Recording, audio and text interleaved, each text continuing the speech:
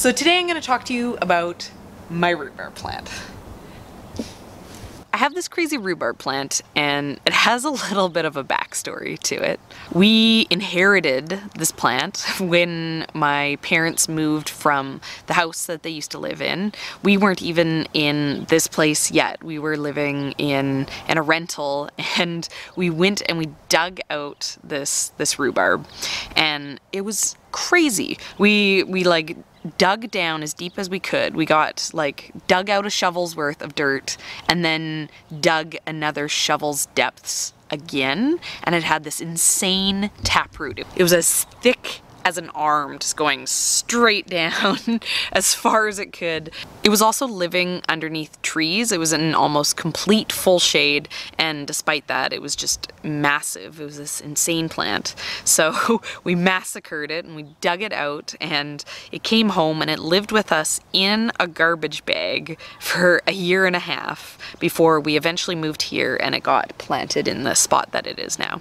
Once it got moved into this location, it became really happy. Within a year of it being planted here, it has been consistently going to seed, and I know you're not supposed to let your rhubarbs go to seed because it takes energy away from the plant, but the only reason we've been able to maintain this rhubarb the way that we have is because we let it go to seed. This rhubarb gets so crazy that I don't even pick it for for the rhubarb. I just pick it purely to keep it from like rotting in on itself. At this point right now, this rhubarb is so dense with growth that I can't even I can't even push the leaves apart to get in there and and to pick stalks. I need to go in there, I need to pick out probably about half of what's grown because this rhubarb hasn't even started growing yet. At this point, it's just baby growth. This rhubarb gets about a meter tall and the leaves will be, you know, my mom my mom regularly comes and takes rhubarb leaves from us to make stepping stones. That's how big these leaves are. Last year we did three just maintenance picks, three just picks to keep it from from, you know, choking itself out to allow some airflow to stay in the plant. And those three picks added up to a hundred pound harvest, which it's it seems crazy to me to say it. And not only that, every summer because it goes to seed. It throws seeds everywhere in our yard. This this plant produces 10,000 seeds every year and we don't do anything we just we just let it drop its seeds wherever and every spring at this time of year when we're going and we're prepping the garden beds throughout our entire garden we'll probably have about a hundred rhubarb babies which we then kind of just pull straight out of the ground and then try to find homes for. We have a few that are a couple of years old and they've they've started to, you know, get to be a fairly good size. and, and then we have some that are kind of just struggling in the shade, but you know, it's a good placeholder for them until, you know, someone comes along who's like, oh, I could really use a rhubarb plant. Ian and I were joking the other day about starting a rhubarb farm and basically this would be the mother of many rhubarbs. This one rhubarb plant would give us the basis for being able to start that farm. So I love this beast, this this little shop of horrors plant that is doing its best to try to take over our garden. It's come to be that time of year again where if I don't do something for this rhubarb, it is just gonna choke itself to death and it's the center is gonna die out. So I need to get in there and I need to do a serious pick. So let's stack up some rhubarb. I've seen people just rip out the rhubarb stalks, but I always use some pruners or a knife to cut my stalks because I don't really want to be opening up any sort of scars into the the kind of main part of the plant. My goal here is to keep keep it as healthy as possible. Um, so because of that, I don't just rip stalks out. When I go to prune out this plant. It is a little bit tricky because it's usually so dense that I have a hard time getting into it. What I would normally like to do if I was just picking rhubarb like a normal human being is just go into the center and get some of the, the biggest stalks. But on this, I can't even access the center usually by the time I get to it. So I usually start on on the the outer edges and then I, I work my way into the plant, thinning and you know opening up space as I go. There's usually some more baby roots around the outside because it seems like every year the plant just spreads and gets bigger. So these I'm not going to pick as densely, but I do have to cut some of these out just to open everything up.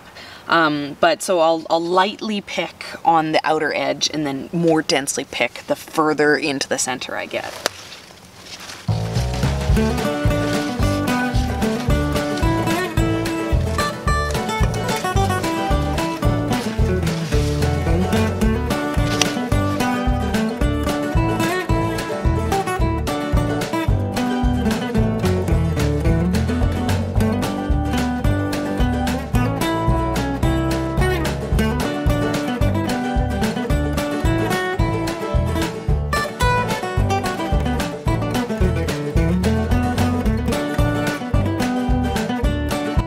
Here we go. I have about half of the plant thinned out here.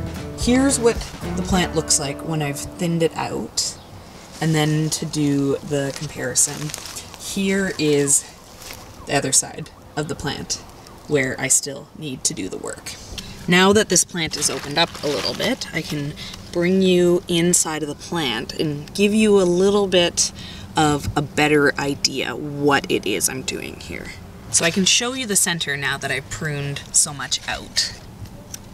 This here is a really good example. This baby and then this full-size stalk, this is one single rhubarb, um, you know, like root or stem, and I thin it down to one leaf to you know, be able to reach up and get some sunlight and some energy and one baby leaf that's growing. So I, I strip out as much as I can for that to happen. And you can kind of see here in the center, that means a lot. Another thing that I definitely want to do is I want to get in and I want to clear out any of this tiny little, you know, first growth foliage. Here's a good example. This one here. I don't want that in there because I don't want it dying, which it's going to be doing. I can kind of reach in here and there's these yellow leaves. I don't want any of it that in there to be material for for slugs and and other bugs to get in there and feed on because I'm trying to keep as much air flowing through here as possible. This is basically all I'm doing. I'm just trying to keep my plant from dying by by opening it up and allowing to breathe and, and grow further. At this point, this is going to give the plant enough space to keep growing. This is actually only my first prune of the season, and this prune isn't even really one of my biggest prunes because a lot of these leaves are kind of the first, first baby shoots that grow up. And I need to clear those out so that the bigger leaves, the bigger stalks are going to be able to grow. Usually in about two weeks from doing this first prune, I come in and I do a second prune, and that's when I get like the really big harvest. That's like the 50 pound harvest that looks crazy. All I'm doing at this point is just trying to keep the plant happy and healthy and, and alive.